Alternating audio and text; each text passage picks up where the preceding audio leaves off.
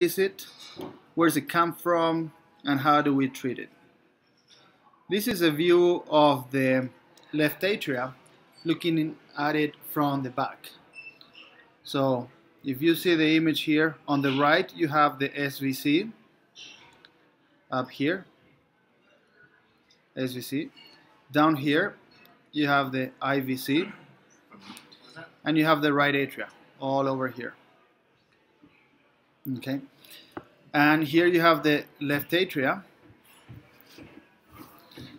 with the left superior pulmonary vein, left inferior, right inferior, right superior. As you see in this drawing, there are muscular fibers that are around the veins.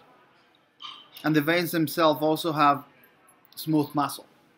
So, not as much as arteries, but they do have smooth muscle. Every muscle is able to conduct electrical impulses.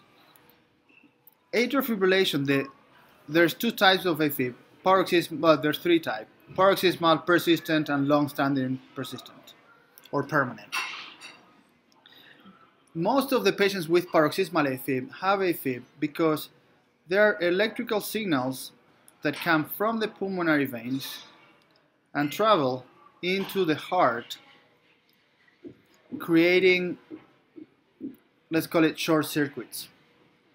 Basically, the electrical signal from the vein will come into the heart and because of a different orientation of the fibers and different conduction speed, it will find some cells that are ready to be activated while other cells that are right next to it are not ready to be activated.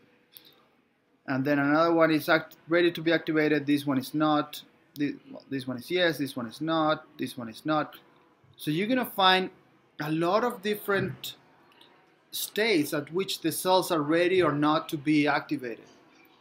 And the way I try to explain it to our patients is that all this chaos interfere with the normal conduction of electricity. Normal conduction of electricity on the heart goes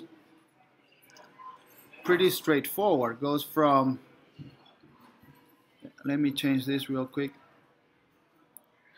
So you have the upper chambers, the atria, right? Right atria, left atria, left ventricle, right ventricle. Normal activation starts up here in the sinus node, and the electricity, the electrical signal of the atria, travels in waves. It travels kind of like this. And as it travels, the atria contract. So between here and there, imagine these are cells of the atria. The conduction goes straight like that. Now, if on top of that, right here you have another group of fibers of the cells, uh, fi muscle fibers. Now the electricity will have to kind of turn to the on this direction and start going on that way at one speed and on this direction at a different speed. So now suddenly you have two different speeds at which the electricity travels through the heart. So when the electricity comes out of the pulmonary veins and is going on multiple directions, there's room for an electrical signal to go on this way and then it comes back to the same place that it started. Same thing over here. It goes back and around. And same thing over here. So that is what tends to what we believe gives origin to AFib.